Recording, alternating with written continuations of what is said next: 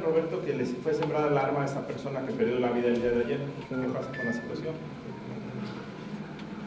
Durante la puesta a disposición por elementos de la Policía del Estado de aquellos artefactos eh, que participaron en el enfrentamiento, no se pone a disposición como eh, relacionado al cuerpo del abogado uno de los fusiles que fue encontrado. En efecto, fueron encontrados dos fusiles en relación a los hechos, pero en los actos de investigación no se refiere que haya sido relacionado con el abogado uno de los fusiles. Pero se lo colocan en su cuerpo.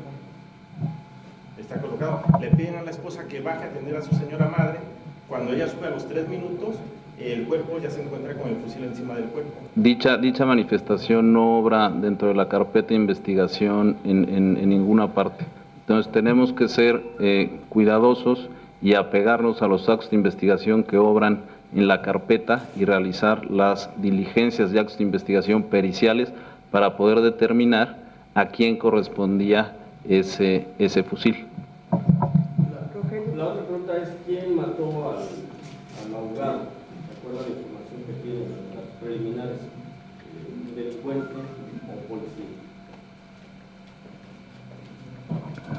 En estos momentos, desde el día de ayer, se están llevando todos los actos de investigación, reuniendo evidencia para poder determinar durante el enfrentamiento qué proyectil fue el que lesiona al abogado y por consecuencia pierde la vida. ¿Se va a citar a la familia porque ellos afirman que fue policías estatales quienes asesinaron al licenciado? Claro que será la cita, citar a la familia para declarar. Solamente una, una frase final. Ah, Nuevamente reitero, la Fiscalía le corresponde por mandato de ley esclarecer fehacientemente lo ocurrido el día de ayer en Tistla y en caso de acreditarse le corresponde a la Fiscalía aplicar las sanciones con todo el rigor de la ley. Es cuanto. Pero si existe esa arma o si hay una fotografía con el arma en el cuerpo, eh, ¿serán investigados los policías sobre este hecho también? Porque el gobernador en la mañana hacía mención de que se investigaría. Todos los, todos los hechos relacionados con lo sucedido ayer se van a investigar.